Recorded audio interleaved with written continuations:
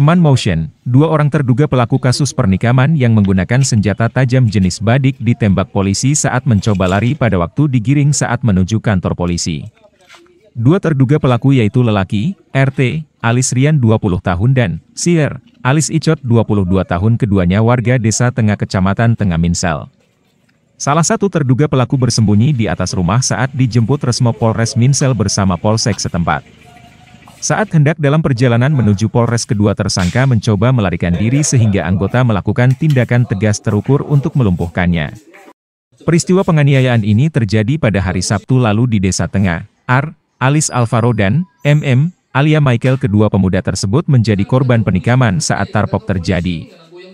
Kejadian berawal di acara pesta hajatan di Desa Tengah dan terjadi perselisihan sehingga terjadi perkelahian antara dua kelompok pemuda Desa Tengah dan Desa Pakweru, sehingga mengakibatkan dua warga Desa Pakweru luka tikam di bagian perut dan di bagian kepala dengan menggunakan senjata tajam jenis badik.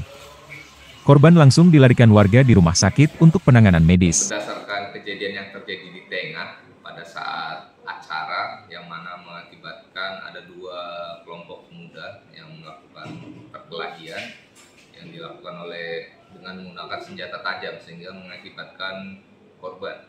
Yang mana korban tersebut sudah dilarikan ke rumah sakit. Jadi ada dua pelaku. Dua pelaku yang diamankan dan disangkakan menggunakan pasal 170 ayat 2 poin kedua yang mana ancaman pidananya yaitu 9 tahun penjara